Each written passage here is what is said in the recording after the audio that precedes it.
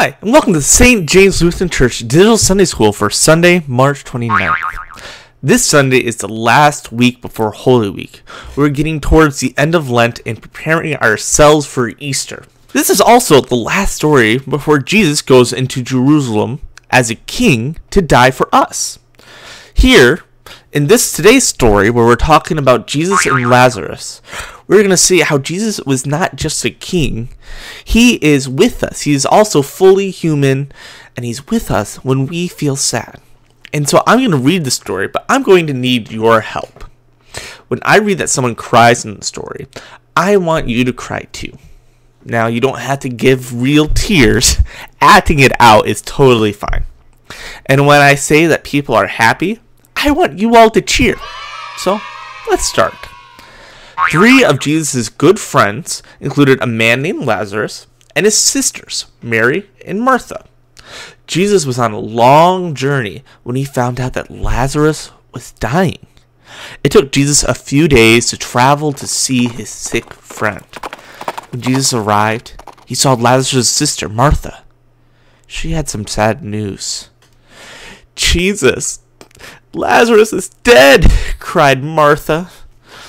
I wish you could have arrived earlier. You might have been able to save him.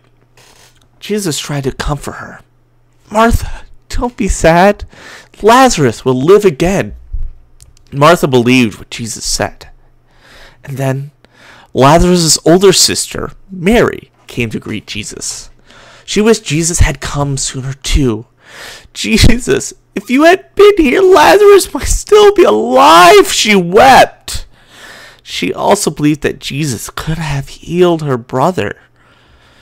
Now, Jesus was sad too because Lazarus died. He cried and cried. Jesus, Martha, and Mary went to the tomb where Lazarus was buried. Jesus told some people standing there, Take the stone away from the tomb. The people were surprised at what Jesus said. Martha reminded Jesus that Lazarus had been dead for four whole days. They had already made his body ready for burial by wrapping it in special clothes. But Jesus knew what he was doing. He insisted that they open the tomb. And so when the heavy stone was rolled away, Jesus said, Lazarus, come out! The people were frightened and amazed when Lazarus came out of the tomb. Since his hands and his feet were all wrapped up in the burial clothes, the people had to help Lazarus unwrap them. And when the people saw that Lazarus was alive again, they laughed and they sang and they danced. Many people that day believed Jesus would bring new life to everyone. And so this is a story that is sad and happy. I know those are seem like two big opposites, but it's both. Jesus, Mary, and Martha, and all the people that were there were sad because Lazarus died. And it is sad that Lazarus died. It is okay. Even Jesus was sad. But they all know that they can be happy because they have Jesus. And Jesus brings them back to life. And Jesus promises to bring us back to life with God as well. Because of Jesus, we know there's happiness to be found because God always has the last word in any sad times. And yeah, we might be sad for a while, but that's okay. Jesus was sad too. He knows what it's like, and he can be right beside us when that happens. So, if you don't already have your parents, pause the video, go ahead and grab them.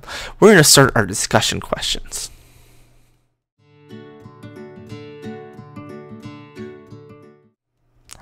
First question When was a time that you have felt sad?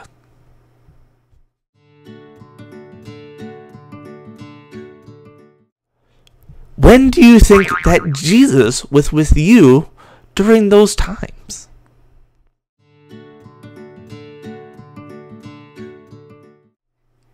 How can you help someone that is feeling sad?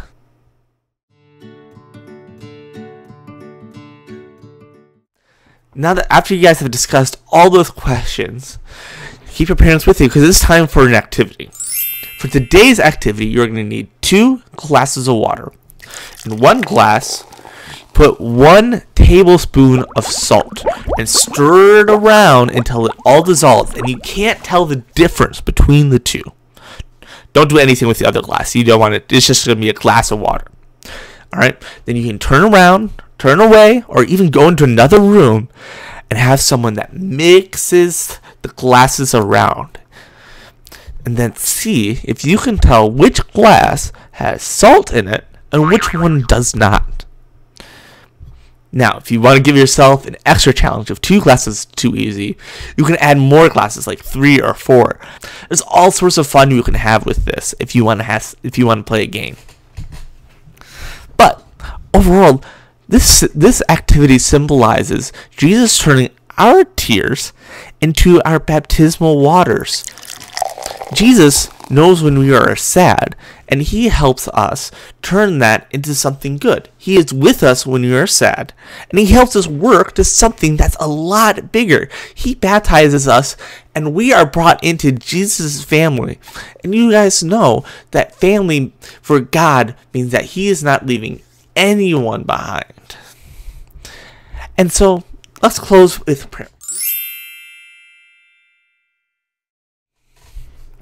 Dear God, thank you so much for bringing us into our into your family and for making letting us know that you are with us whenever we are sad.